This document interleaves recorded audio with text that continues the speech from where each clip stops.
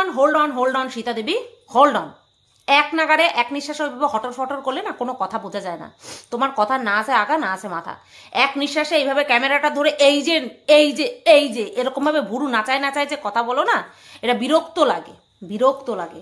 কথার আগা নাই, মাথা নাই, কথায় স্থিরতা নাই, কিচ্ছু নাই, বকতেই থাকে বকতেই থাকে বকতেই থাকে। তার বিপরীতে আছে এর বর, দুর্ভাগ্য। সে কথাই কইতে পারে না এত এই হচ্ছে তো, আজকে তো সীতা বাড়ি নাই। হ্যাঁ আমার রান্না করতে হচ্ছে। একই না, সে কি না?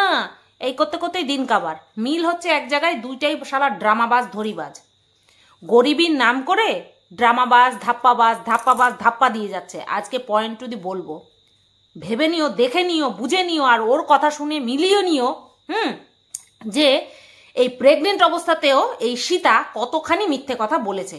ভরা মাসে কতখানি মিথ্যে কথা বলেছে তোমাদেরকে আজকে বলব। ওর কথা দিয়েই বলব, ঠিক আছে? তো এক নম্বর তো কারণ তোমরা আমাকে বারণ করো অরিজিনাল নাম নিতে। দুই নম্বর কারণ হচ্ছে ওই নামটার সঙ্গে আমার একটা তিক্ত অভিজ্ঞতা জড়িয়ে আছে। এই যে সীতা যাকে বলছি, তার অরিজিনাল নাম কি সেটা জানো? ওই নামটার সঙ্গে আমার একটা তিক্ত অভিজ্ঞতা জড়িয়ে আছে, সেই কারণে ওই নামটা আমি নেব না। তো এই যে সীতাকে সবাই বলে কম বয়সী, অশিক্ষিত, অল্প বোঝে। হ্যাঁ ঠিক আছে, মেনে নিলাম সব। কম বয়সী, অল্প বয়সে বিয়ে করেছে, পালিয়ে গিয়ে পড়াশোনা না করে বাবা মার মুখে চুনকালি মাখিয়ে গিয়ে বিয়ে করেছে, সেই বুদ্ধিটা বেশ ছিল। বুদ্ধি নাই, সেই বুদ্ধিটা বেশ ছিল যে প্রেম করে, করেছে, বিয়ে করতে হবে এবার। তো বিয়ে করেছে, তারপরে অশিক্ষিত, মানলাম অশিক্ষিত অশিক্ষিত তো হবেই। প্রেম করেছে, বিয়ে করেছে শিক্ষে পড়াশোনা আর কোথায় হলো? এই অশিক্ষিত শব্দটা কিন্তু আমি ইউজ করিনি। এদের ওই, এদের অ্যাকাউন্ট বা এদের চ্যানেল যে হ্যান্ডেল করে না, সে কিন্তু আমাকে কমেন্ট করেছিল যে ও অশিক্ষিত। আমি সেই হিসেবে বলছি যে ও অশিক্ষিত। ও কতদূর শিক্ষিত, অশিক্ষিত, আমার বিচার করতে যাওয়ার দরকার নেই। বলেছে যেহেতু, সেই কারণে আমি বলছি। অশিক্ষিত হতে পারে। মিথ্যে কথা কি করে বলে? অশিক্ষিত, কম বয়স, তাহলে তো সরল হওয়ার কথা, তাই না? তাহলে মিথ্যে কথা কি করে বলে? এই ভুল ধারণাটা কিন্তু আমার মধ্যেও ছিল যে ওরা সরল। কিন্তু আজকের ভিডিওটা দেখে। এই ভিডিওটা তোমরা আগামীকাল পাবে, কিন্তু আজকে ওর সীতার যে ভিডিওটা আমি দেখেছি, সেখানে সীতার প্রতি একটা কেমন জানি একটা নাক সিটকানো ভাব আমার চলে এলো। আমাকে একজন কমেন্ট করল যে, আজকে সীতার ভিডিওটা দেখো আর তোমার বক্তব্য রেখো। ওর ভিডিওটা দেখে আমি থ হয়ে গেলাম যে, কিছুদিন আগে মেয়েটা কি কথা বলেছে আর এখন কি কথা বলছে? তো যাই হোক, সরল হতে পারত পড়াশোনা জানে না, কম বয়স, সরল হতে পারতো, কিন্তু কি হয়েছে? ড্রামাবাজ, ধাপ্পাবাজ, ঠিক আছে? তো ওর এবং ওদের ধাপ্পাবাজির প্রমাণ একটা একটা করে তোমাদেরকে দিচ্ছি। সেটা হচ্ছে, প্রথম যখন ভিডিওটা চালু করছি, আজ কয়েকদিন ধরে এদের ভিডিও যখন চালু করছি, আমি বিষয়টা নিয়ে ভাবছিলাম ভিডিও বানাবো, কিন্তু এত তাড়াতাড়ি ভিডিও বানাতে হবে সেটা আমি ভাবিনি। তো কয়েকদিন ধরে এদের ভিডিও চালু করছি, প্রত্যেক সময় দুটো করে অ্যাড দিচ্ছে, ঠিক আছে? যেটা একটা হেলদি ভিডিওতে দেওয়া উচিত, ইউটিউবের একটা হেলদি ভিডিওতে দুটো করে অ্যাড দিচ্ছে। এই অ্যাড নিয়ে কি বলেছিল? যখন আমি বলেছিলাম যে ওদের মাস গেলে ইনকাম কম করে ষাট থেকে সত্তর হাজার টাকা, আশি হাজার টাকা পর্যন্ত আছে।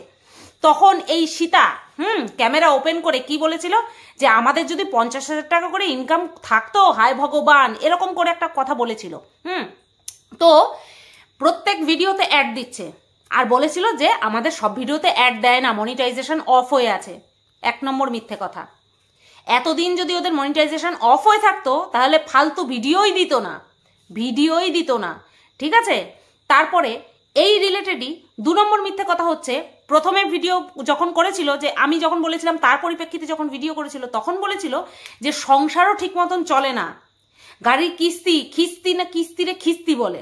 গাড়ির কিস্তি দিতে দিতেই ওর টাকা উড়ে যায়। ইউটিউব থেকে পাওয়া টাকা শেষ হয়ে যায়। আর আজকের ভিডিওতে বলছে অর্থাৎ গতকালকে, আমি তোমাদেরকে পুরো এইভাবেই বলছি। গতকালকের ভিডিওতে বলছে যে যা আমি টাকা পাই তাতে আমার সংসার ভালো মতন চলে যায়, সমস্ত কিস্তিও মিটে যায়। তাহলে কোন কথাটা সঠিক বলো এবার তোমরা? প্রথমে একবার বলছে যে ভিডিওতে অ্যাড দেয় না মনিটাইজেশন অফ হয়ে রয়েছে। সংসার ঠিক মতন চলে কি চলে না এরকম একটা ভাব। হুম, এখন বলছে সংসার বেশ ভালো মতন চলে, সব কিস্তিগুলোও মিটাচ্ছে। ঠিক আছে? এই গেল এক নম্বর মিথ্যে কথা। দু নম্বর কথা, সেটা হচ্ছে আজকে সীতা দেবী, দেবীই বলছি আমি, সীতা দেবী নিজের মুখে স্বীকার করল যে কারণে অকারণে ওর চোখে সবসময় জল আসে। কারোর আসে কি?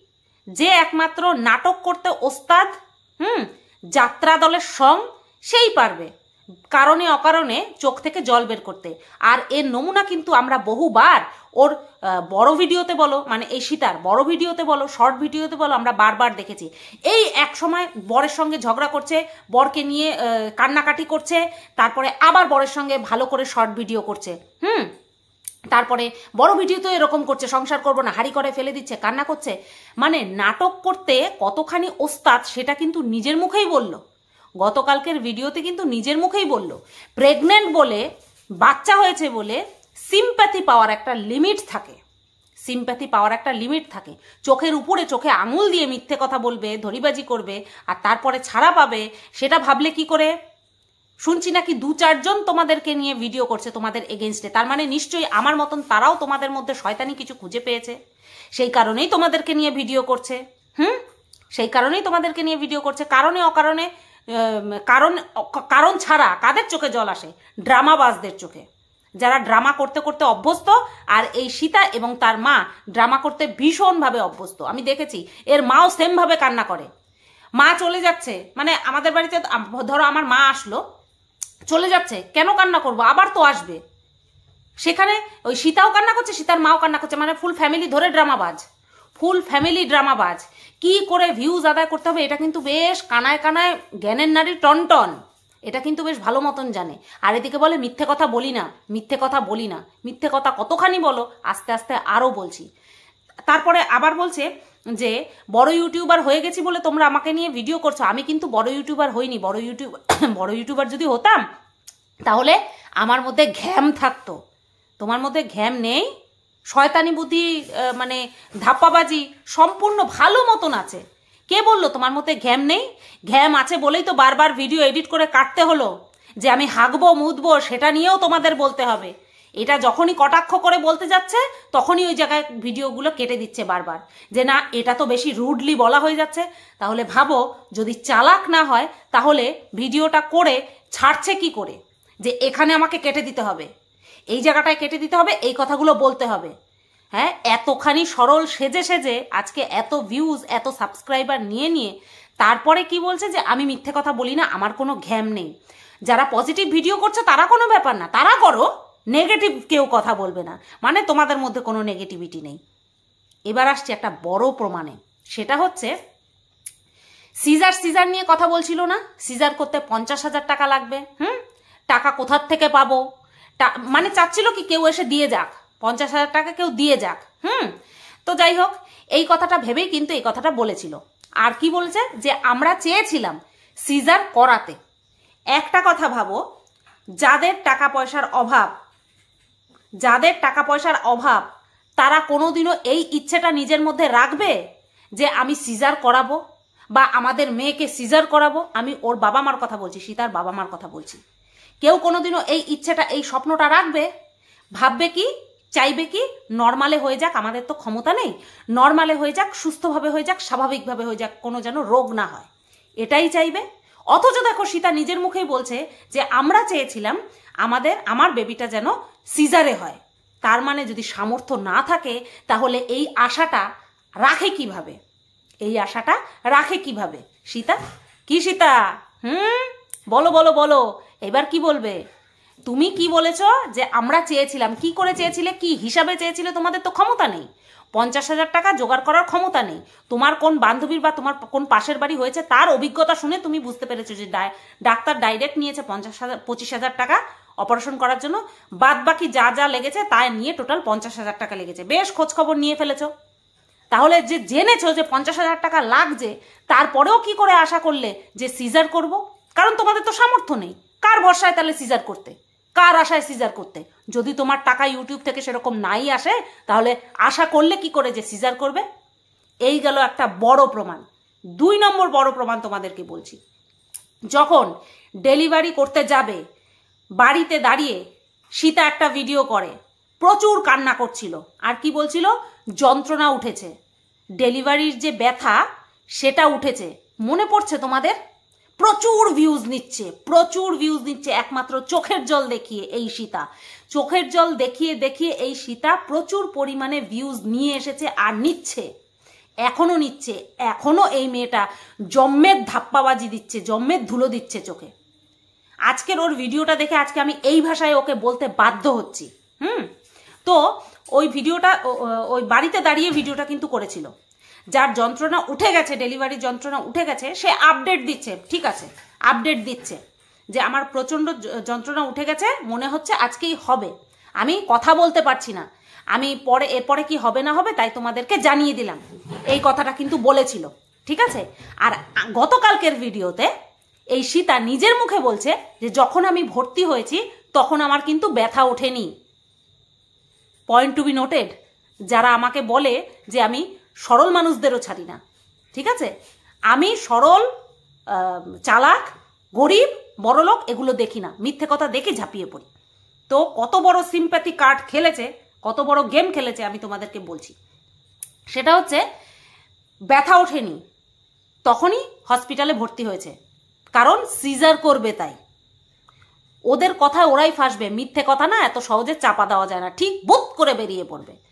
সিজার করবে সেই কারণে ভর্তি হয়েছিল। ব্যথা ওঠার আগেই।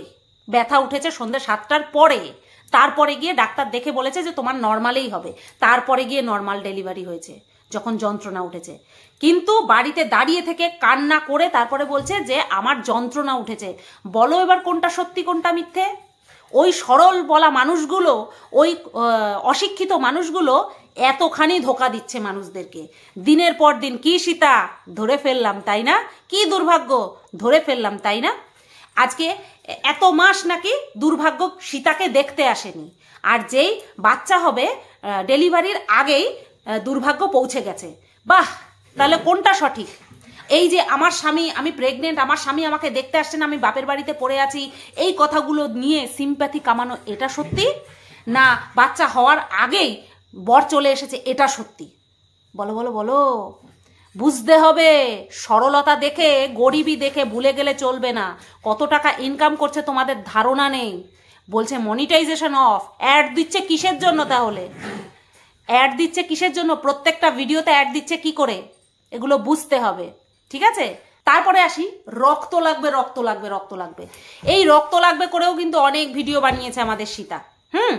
যে রক্ত কম, শরীরে রক্ত কম, রক্ত লাগবে। কিন্তু দেখো ডেলিভারির সময় রক্ত লাগেনি, ভগবানের অসীম দয়া। এতই দয়া হয় মানুষের একটা মানুষের সঙ্গে কিন্তু এত মিরাকেল হতে পারে না। একমাত্র কেউ গরিব সরল বলে? কতখানি সরল, কতখানি গরিব তো তোমাদেরকে বলেই দিলাম। চোখে আঙুল দিয়ে দেখিয়ে দিলাম। ওর ভিডিও থেকে, ওর বলা কথা থেকেই বললাম। এটা এখানে কিন্তু আমার কোনো মানসিক ভাবনা বা ইমাজিনেশন যাকে বলে, সেটা কিন্তু নেই। কোনো কল্পনা নেই আমার। বাস্তব কথা তোমাদেরকে বললাম। রক্ত লাগবে রক্ত লাগবে। এই রক্ত লাগবে করে ওদের বাড়িতে কত লোক এসেছে? রক্ত জোগাড় করে দেবে তাই। অ্যাকচুয়ালি তারা তাদের চ্যানেল প্রমোট করতে এসেছিল, আর কিছুই না। ফায়দা কিন্তু সবাই সব দিক থেকেই নেয়। একমাত্র আমাদের মতন কিছু মানুষ আছে যারা কি না খেটে একটা জায়গায় পৌঁছাতে পছন্দ করি, আর তার সেটাতে গর্ববোধ করি। আর কিছু লোক তো আছে, বিনা কারণে খোঁচা মারবেই। তো ওটাতে কিছু আসে যায় না। দিনের পর দিন ক্রমাগত চোখে আঙুল দিয়ে দেখিয়ে যাব যে যেটা বলেছি, যেটা ভেবেছি, সেটা ঠিক ভেবেছি, সেটা ঠিক বলেছি। আপনা আপ প্রুফ হয়ে যাবে। ঠিক আছে? তো সীতা, তোমার বাচ্চার খুব ভালো হোক, সুস্থ হয়ে যাক।